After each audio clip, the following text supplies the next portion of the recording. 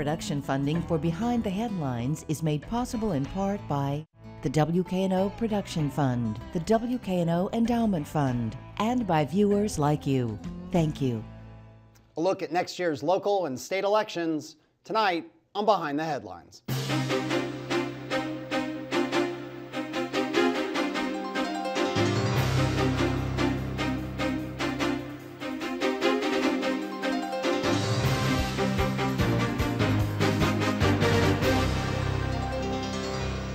I'm Eric Barnes, publisher of the Memphis Daily News. Thanks for joining us. I'm joined tonight by Corey Strong, head of the Shelby County Democratic Party. Thanks for being here. Good evening. Lee Mills, head of the Shelby County Republican Party. Thank you for being here. Yeah, my pleasure. Along with Bill Dries, senior reporter with the Memphis Daily News. So we'll t- look ahead. There are, uh, we were talking a little bit before the show, many, many um, candidates and, and open offices next year. And um, as we, we begin people begin firing up their campaigns. We've got statewide in terms of the governor, we've got the Senate race, we've got everything down to judges and so on. We'll try to get to as much as we can. We don't talk a lot of national politics on the show, but it's hard not to start with the Roy Moore um, uh, in the Alabama situation because it's a southern state and because you know it's gotten Democrats' hope on uh, up, Republicans are saying things. So let's start there, and I'll just add, I actually flipped a coin before the show of who I would go to the first question with, just to kind of get in the, the, the season of elections. Um, for you, Lee, your, your take, does it say anything about the upcoming election season? Does it concern you? Is it just completely its own entity? No, that's its own. It's its own entity. It's uh, if you look at Alabama, uh, Donald Trump had 1.3 million Republican voters in the 2016 election. Hillary Clinton had about 700,000. Uh, if you look at the election, this is just a referendum on a what some would call a poor candidate. Um, so you had 1.3 million people vote for Donald Trump, but only 650,000 Republicans voted. So only half of the Republicans that were eligible or voted for Trump showed up to vote for Roy Moore. And you would take that as as the the, the failure, the allegations, the what of of, Absolutely. of of Roy Moore, not something about the Republican Party or a shine of Trump on him that that was dragging him down. No, if you look at national polls as far as Trump approval ratings, Alabama is one of the highest states that approves of Trump. Tennessee's pretty high up there too. Um, but Al, this is just a very, very unusual thing. Um, I don't attribute it to um, Roy Moore's horse or anything, um, just a bad candidate.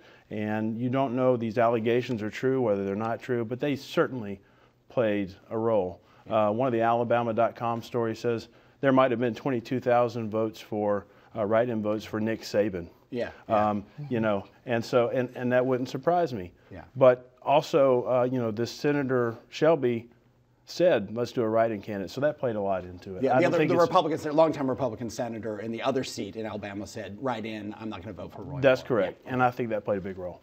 Corey, your take. I mean, you know, obviously Democrats nationally are excited. They, they see it differently than what Lee described. What, what do you all, in terms of a local uh, uh, Democratic Party and looking ahead to statewide elections, what do you take from that Alabama experience? Well, I, I tend to agree that that is a very unique situation. I mean, you have it, it's more of a referendum on kind of a lack of excitement about a, a particular candidate there. Um, but I think you can glean lessons from it. Um, the um, ground game, a very strong ground game support from the National Party, which is something that on the Democratic side we're looking at heavily in the state of Tennessee. Um, there's some conversations we've had with the DNC. Um, also, a good candidate on our side, fielding good candidates. It's a lesson that we can learn in the Democratic Party. Um, the, the elected Senator uh, Jones is has a great record in civil rights, and that is something that um, the community could turn out for, particularly the black community, which um, voted in droves there. And so I think there's some lessons you can glean from it, and I think we're paying very close attention to how does that impact us. Um, and he looked at the national election it's very correct that Donald Trump won that area, but also looking at Tennessee or Shelby County specifically, Hillary Clinton won this area um, pretty significantly. And that was also buoyed by a predominantly black voting populace here. And so that's definitely lessons that we're looking at in the importance of going to our base as a Democratic Party. And that's something that we'll be focused on in the very near term throughout the both local and national elections next year. Yeah, and we'll explore a lot of what you both said, but let me get Bill in here. Um, yeah, so, so uh, Corey, did you have some folks who, who, who went to Alabama to to work in the campaign there? Were there some Democrats from here involved? So there there were a smattering of Democrats. I think I may have one or two people on the grassroots council that got involved, but I think generally it's these broader organizations, these um, you know the indivisibles and, and, organizations like that that have gotten involved. Some more of the activist organizations that we are are, are starting to partner with mm-hmm. um, with this kind of new energy since last year. Right, and, and, and Lee, did you have any folks? I know phone banking is is something that both party bases. We didn't do it locally. I'm mm-hmm. sure the National Party did, but that's a, it's a good point that he made. Um, this election was for the people of Alabama, and the amount of outside influence was unbelievable. Um, there's no way, I'll say no way, but it's a slim chance a Democrat wins in Alabama, a pro-choice Democrat wins in Alabama without Roy Moore as the candidate. On the Republican side. It, switching to Tennessee, did you know? Does Bredesen entering, former Democratic governor um, of the state, um, a more moderate and very well liked, he had very high approval ratings when he left office. Um, does it concern Republicans in the state that? that he might get more national money now because the DNC, because the state, you know, this this federal money will say, hey, you know, we can win in the South. We've got a popular former governor. We've got a chance here. Does that all concern you? Sure, it concerns You're either running scared or running unopposed. But um, you you see that I think the demographics of Tennessee have shifted. There's only really three or four large Democratic counties. Um, and so it's going to be tough for him. But the whole election comes down to voter turnout. It always comes to voter turnout. And that's a problem that we struggle with in Shelby County, both from the Democratic Party and the, and the Republican Party. Um, I tell our folks that um, we have a saying, and they could say the same thing that Republicans who don't vote elect Democrats. And the same could be true on their side, except they have a numbers advantage in Shelby County. So it's going to be all about turnout and uh, getting good candidates to run. And your your thoughts on the governor race as well. So we've got a governor's race, um, big field of Republicans. How do you know? Do you all take that for granted? I mean, there's a, there is a sense of complacency almost among some Democrats I know who, well, this is a Republican state. They control the state House, the state Senate, governorship. It's you know, a, a Democrat's never going to win. It's just about which Republican wins the primary. Well, Democratic complacency is great for us. Um, uh, it's not good for them, but it's a different state than when Phil Bredesen was here. It's a red state. Um, you know, that kind of shifted starting when Al Gore ran for vice president. He didn't win his state, and it, it shifted since then. Um, so we'll see. Yeah. Uh, Court, your thoughts first on that. Let's start with the Senate race. I mean, do you all expect, I mean, having a big name candidate, a wealthy candidate who can put a lot of his own money in, in, in terms of Phil Bredesen, do you all think you'll get more federal or, you know, uh, national level Democratic money as a result both of his popularity some years ago and the win in Alabama. Oh, absolutely. So, Virginia, New Jersey, cities across the country, Alabama, um, is a narrative that involvement at the national level is important. And so, and he mentioned something. Yes, there was a lot of people in Alabama, but in states where people are successful, particularly where there's um, close competitions, the tight competitions, yeah, there's going to be national money comes in, whether it's from the national parties or whether it's from, you know, this pack or that pack. I mean, Koch brothers put a lot of money down here. I mean, that happens in every state. So there's someone weighing in because there are all all politics are local, right. but the stakes can be very high at the federal level. So. Um, I actually got a phone call last night from um, James Mackler, who, who, who dropped out of the race. A fellow on the Democratic side. On the Democratic side, because Bredesen got in, a fellow brother is in arm, and there is a a, a, a desire um, to make sure that we kind of circle the wagons and make sure that we are supporting one candidate. Um, and the decision was made by Mackler, who did a phenomenal job. Um, and to serve the party, serve country, and say, hey, I'm going to drop out and support this effort. And so I think that he will bring attention. Um, we have two great candidates on the governor side as well, and Fitzhugh and Dean, and um, both of them are, are, great seasoned Democrats. And I think and Dean, in his particular case, will also bring national attention. And so having that caliber of person um, run is, is very good on our side because that's something we've had trouble with in the past few years. And, and before I go to Bill, one more. I mean, turnout. You know, I mean, as you pointed out, um, as Lee mentioned, I think too. You know, Shelby County is a heavily Democratic city. It went for uh, or the area. It went for um, um, Hillary in the last election, Hillary Clinton. What do you all have to do to get turnout in an off year? I mean, do you do you see how do you get turnout? What does that mean? Is it money? Is it people? Is it all of the above? It's it's all of the above. But our focus and not having a meeting with the associate chair of uh, the DNC came in not too long ago. We did a, a labor meeting, uh, Jamie Harrison, and the conversation with him was pretty clear. this race is going to run through Shelby County at the at the at the state level. If, if we turn out here, that has statewide impacts. We have enough kind of vo- votes on the tree to shake out that it will it, it has to go through Shelby County. And so understanding that, the reality is is that we have a local election prior to that. And so if we are able to be successful at a countywide level in August, then that will pay dividends in November. So if people believe you can do it and win a county mayorship or county level offices here, then we can fold that into something and keep the momentum going into November. About 15 minutes left. Bill. Lee, uh, uh, uh, by the same token, the Republican base outside of the city of Memphis, but within Shelby County, is the largest base, depending on turnout, of, of any single county in the state as well. So we've kind of got both of those dynamics going here inside the city and, and, and, and outside of the city. What would you say the, the, the, the state of that very significant Republican base is going into 2018? Um, Corey makes a, it's a great point. Um, they are the largest Democratic county in the state, but we're also the largest Republican county in the state, just as you said. Uh, our voters are excited. Um, they're going to turn out. Um, we do a couple things as Republicans. We always have uh, multiple candidates. So where they kind of coalesce around one candidate, uh, we kind of um, we've, we've got more people in the race. In almost every race, we'll have multiple candidates. Uh, but that helps, I believe, our turnout uh, because the, the each individual candidate will get their folks out to vote. Now, another thing that it helps us with is um, our general election is on the state primary election. So when people are voting for governor and senator, which we have a lot of candidates in, they'll be voting in our general election. And because we're at a disadvantage numbers wise, um, if 30% of our voters turn out and 20% of their voters turn out, we still lose, right? Mm-hmm. So we have to significantly increase the number of voters which means we have to address the apathy, which is rampant in both of our parties in Shelby County. And we got, before I go back to Bill, we've got a, a graphic that will show some of the dates that are coming up because there are a whole lot of, there are a lot of people running, a lot of offices open, and, sure. and some key dates. But go ahead, Bill. So, in, in terms of the, the county offices, we, we have a lot of Republican incumbents. We have a lot of Republican incumbents countywide who are, are term limited. Some of them are picking different offices, some of them are, are not running for reelection. Uh, how does it change the dynamics from having a lot of open countywide positions in 2010 to being the incumbents who are, who are moving around in 2018?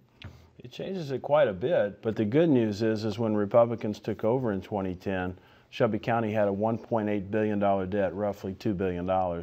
Today, we've paid down 750 to 800 million dollars of that debt, uh, which is significant. And I think if the voters look at the record, they'll continue to elect Republicans who, who have done a good job for the last. So, Corey, can, can Democrats, uh, uh, less than a year after the reorganization of the party, can you do what Republicans did in 2010 in the county elections? I think we can, and I think we need to make it a referendum, not just on numbers and facts on a sheet of paper, but the impact on people's lives. And so if you look at, um, there's a poverty study done in 2015. Um, Shelby County, and, and, by Shelby County, I mean Shelby County outside of the municipality of Memphis, is doing phenomenal as it pertains to poverty. Actually, the, a lot of the citizens there, and in some cases it's the white demographic there, are under the national poverty level. Um, but if you look at Memphis and Shelby County proper, we are one of the highest counties, and depending on which study you look at, the highest county is poverty. So telling a bunch of citizens in Memphis, hey, we're doing great with the debt when majority of them are living in abject poverty. Um, well, what about me? I would like some of those resources to come to us. So we're going to make it a referendum on the lives of the people in this city. Do they have economy that work for them? Do they have service, services that work for them? Do we have job opportunities that are meaningful? And currently, right now, we have a county government that's very concerned about building new roads in Eads, Tennessee, and doing, you know, things at the margins as opposed to doing actual meaningful work at the core of the citizens of Shelby County, which Memphis is a big part of. And so we'll make a referendum on that. Okay. Well, uh, take exception to that. Shelby County is doing great. They have good leadership. Uh, the reason Memphis is doing bad is because Memphis has suffered for bad leadership, bad Democratic leadership for decades. Uh, so to blame this on Republicans is kind of you know, not real fair. The county's doing good because Republicans uh, have run the county for seven years. The city could do good if Republicans ran Memphis City, but unfortunately, it's Democrats that run Memphis City. So really, the blame has to be shifted inward, and I think um, that's that's the big problem. Corey and other Democrats have talked a lot about the 2016 state house race where Dwayne Thompson, the Democrat, uh, upset the Republican incumbent Steve McManus. Does that indicate that that things are changing in the county outside of the city? Uh, in that district, it may, but not anywhere else. Um, I'm not going to talk bad about Representative McManus, but um, I don't believe, my personal opinion, that he worked as hard as maybe he could have, that he spent as much money as he should have. Uh, and they got a lot of outside influence from the National Party, from the state party. So again, the outside money and the outside mailers and the callers and the things they did, they did it right because they won. Um, I think had our side not really been, I said they were blindsided. They didn't expect as much resistance as they got, and the Democrats took one from us. But I think we can take that one back. I suspect your view is going to be different. I- i- Is, is Dwayne Thompson's election an opening for the party in the county outside of the city? In the same way that I said we can glean lessons from Alabama, we can learn lessons from what Dwayne did there. Um, Dwayne gets some support, yeah, because he's a good candidate. But Dwayne worked his butt off. Dwayne knocked on doors. Dwayne knew that community. Dwayne understood the demographics. And I'll tell you, it's funny, you people that live in the same address, it's interesting the number of people that can say, I know the campaigns have knocked on my doors over the past 20, 30 years. Um, in Cordova, a lot of those people now know Dwayne Thompson because he's come to them consistently. So a candidate that's present and a candidate that connects with you personally and lets you know we're going to try to expand that and scale that up across the county with our good candidates. And so we're learning a lot of lessons from Dwayne. And we used to serve an executive committee together, and, and I can tell you he's a hard worker. All right. Let, let's talk a little bit about, about crossover. Lee, in, in, in 2010, a lot of Republicans told me that, that, that the key to success was that the Republicans had nominees who, who had crossover potential that, that some segment of Democrats could support. Is crossover is, is crossover still the factor it was then in what I'll call the age of Trump generally? Yes, it's very important for us because, again, we're at a numbers disadvantage, right? Um, I said if 30% of our voters turn out and 20% of their voters turn out and they vote straight ticket, then we lose. Uh, so we need some of that crossover vote, and I think we'll get it. Uh, there's things that Republicans and Democrats can agree on crime, jobs, education, those things uh, we can agree on. Uh, and I think our candidates will stand out and people will see that they're the better candidate, I hope. Do you, Does you, that- oh, go ahead, Bill. Go ahead. Does that change when you get to the state level, though, with the Senate race and, and the race for governor? No, I mean, it, yes, it does. It, it in Shelby County maybe, but Shelby County is is is kind of an offset, uh, the same as Nashville and Knoxville.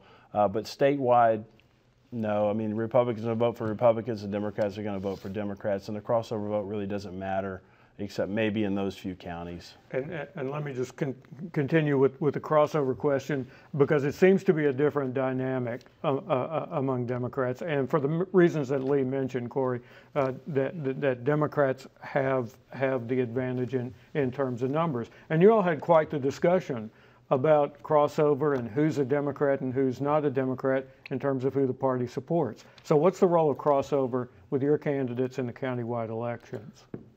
A crossover is a, a symptom of a problem.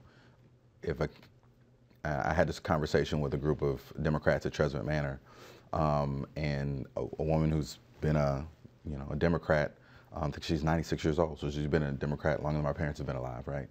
Uh, and she says, um, "Yeah, I didn't know y'all's candidates. They, I, they didn't, I, but I know this one, and I know his parents, and he's a good person." And so that means we either don't have good candidates or we're not working hard enough to get the record of those candidates in front of our voters. That ends here. So, you know, my parents grew up picking cotton. I've, I've worked, you know, I come from a rural area, um, where my roots are, worked in the Navy for eight years. We're going to work. And so my party is kind of, they're, they're afraid. They're like, it's about to come, but we're going to work to make sure. It's not going to be a, a, a referendum on, hey, we don't know your candidate. That's not going to happen anymore. And also, I think with the national things that are going on in, in, in the state of the county, that people are good people are getting involved and, and are running for office on both sides, but particularly the Democratic side. And so that gives me hope that not only when we work that we're going to be able to get to the voters, but also to give them a candidate that, that they'll be happy about. Let me ask, we talk about, excuse me, crossover and, and um, we're talking about a referendum almost. You know, the, the, the, Republicans in what was that 2010 used the unpopularity of Obama in among Republicans. I mean, the visceral unpopularity of Obama, specifically Obamacare. Um, to, they parlayed that into you know statewide races, into state house, state senate, even local. Do you worry, Lee, that um, I don't think anyone questions Trump's popularity in rural Tennessee, but that among educated suburban, particularly women, at a time of the Me Too moments. You've got a president who has allegations of 15, 20 um, sexual harassment. I mean, you know, all kinds of char- uh, uh, accusations. And you've got this Mueller investigation. Does, is there a drip, drip, drip with that? I, don't want to necessarily debate whether those are true, but they're out there and they're talked about constantly, and they're off-putting for a lot of edu- increasingly it seems it seems people point to educated suburban traditionally Republican voters. Just maybe they just don't turn out because of that? And does that begin to reflect on, on local, at the local level? So my job as Shelby County chairman is to take care of Shelby County. And I think you're correct. But I also say that this is the reason that I divorced myself from President Trump when we talk about local elections. Okay, he said local elections matter, that's true. And here's the point. Um, I have to, my job as Republican Party chairman is to highlight our candidates our state candidates and try to divorce ourselves from Donald Trump, we have to do that because it's exactly the way you said. Um, there was a lot of, this was a weird presidential election, right? We had uh, Republicans voting for Democrats, Democrats voting for Republicans. It was a crazy presidential election. Um, so you're exactly right, but our job is to, is to focus on Shelby County and try to keep the national politics out of it. Do you worry that that divorce you're talking about could get so bad that you almost have to divorce yourself from the Republican brand? So instead of talking about Repub- you know, David Lenoir as a Republican, you talk about David Lenoir. You talk about the candidates and the personality. I mean, do you worry that that effect within the next six to eight months could be that you're not just divorcing yourself from the elected president, but from the party you represent? No, I okay. no, I don't think it's that bad. The but but we concentrate on our candidates uh, that's what we do in the Republican Party. We and and they have started to do that. He's he's a good chairman. I can tell already. Uh, because in you the past, met, right? We just yeah, met. Yeah, before the but but I can tell because of the way he's talking. Because Democrats have suffered for years in Shelby County because they haven't put up good candidates. It just haven't been good candidates. Um, Senator Lee Harris is a great candidate. Okay, so it's going to be tough, and we're going to concentrate on our personalities and their and their strengths and not worry about the national politics. Lee, we're throwing so many names out and I haven't, but Lee Harris, who used to be city council, is now state senator and is now in the race as a Democrat for um, uh, county mayor. And I should say that David Lenoir, who's now the trustee, who I mentioned, is running for um, for county mayor as well. For you all, how much do you use among Democrats certainly, but again among maybe moderates and independents, the the unpopularity of Trump um, to when we're talking about the assessor race or we're talking about the county mayor race? I mean, does, does Trump's name help you all? And, or do you just need to focus on issues and candidates? I don't think so. I mean, where's our base? Our base is um, in, in, in our, our black urban communities, right? And so it's hard for me to go to South Memphis. It's hard for me to go to Smoky City, Whitehaven, Frayser, and say Trump's name when, when, when, when the street isn't paved when I got to walk 20 minutes to catch a MATA bus. Like, that's not playing, right? And so we have to focus on candidates and issues as well. So I agree, Lee, with that 100%. Um, but also connect what we're talking about to a change in someone's life. And so that is what we're working on, and I agree with them 100% that if we get too involved in national politics, yeah, we're concerned about health care. There's hospitals closing all over Tennessee because we don't, like, th- that, that's happening. But our focus and, and the thing that's going to convict our voters is how it's going to impact their day-to-day lives.